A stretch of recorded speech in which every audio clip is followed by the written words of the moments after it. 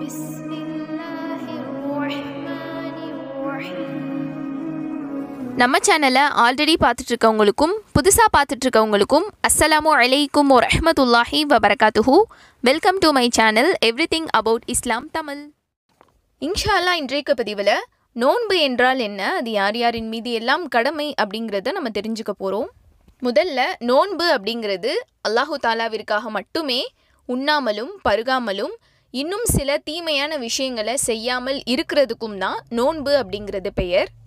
இந்த பரக்கத் பொருந்திய நோன்பை அல்லாஹு தாலா ரமலான் மாதத்தில் ஒவ்வொரு மீன்கள் மீதும் கட்டாய கடமையாக்கியுள்ளான்.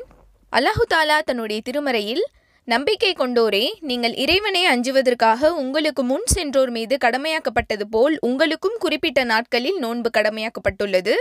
இன்னும் ஒரு அத்தியாயத்தில் இந்த குர்ஆன் ரமலான் மாதத்தில் தான் அருளப்பட்டது. அது மனிதர்களுக்கு நேர்வழி காட்டும் நேர்வழியை தெளிவாக கூறும் பொய்யை விட்டு உண்மையை பிரித்து காட்டும். உங்களில் அம்மாதத்தை அடைபவர் அதில் நோன்பு நோற்கட்டும். நபிசல்லாஹு அலஹி வசலம் அவங்க காலத்தில் மட்டும் இல்லாமல் அவங்களுக்கு முன் சென்ற சமுதாயத்தாருக்கும் இந்த நோன்பு கடமையாக்கப்பட்டது அப்படிங்கிறத இந்த குர்ஆன் ஆயத்தின் மூலமாக நமக்கு தெரியுது. இவ்வளவு சிறப்பும் கண்ணியமும் மிக்க இந்த நோன்பை நம்ம எந்த ஒரு காரணமின்றி விடுவது கூடாது. கண்டிப்பான முறையில் அல்லாஹ்விற்கு பொருத்தமான நிலையில் இந்த நோன்பை நோர்க்க முக்மீன் சமுதாயத்தினர் ஒவ்வொருவருக்கும் அல்லாஹ் அருள் புரிவானாக. ஆமீன்.